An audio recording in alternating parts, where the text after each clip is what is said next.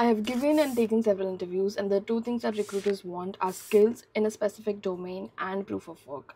So, stop doing courses that have no relevance in the real world because honestly, no one cares about just a certificate without any project backing up your skills. So, I found this incredible cybersecurity course, which is the professional certificate in cybersecurity and secure software development by BITS Pilani Digital, which is 100% online but engineered to feel like real life training, giving you an industry aligned capstone project that becomes the proof of your actual engineering capability. And the best part is, you are being taught by BITS faculty as well as industry experts who will teach you the real tools and workflows that they use in real world to deploy and test systems. Also, in cybersecurity, hands-on practice is a must, but it must be safe. And this program offers a secure and clean room environment, which is a fully virtual sandbox space where learners can experiment, test, and build skills without risking their own system. It's more than a lab, it's a pure digital playground. Students can simulate attacks, study threats, and develop defenses using real industry tools, all pre configured and fully isolated from their own device. So, with BITS Pilani Digital, you will learn deeper and rise higher. Comment link to get the course details in your DM.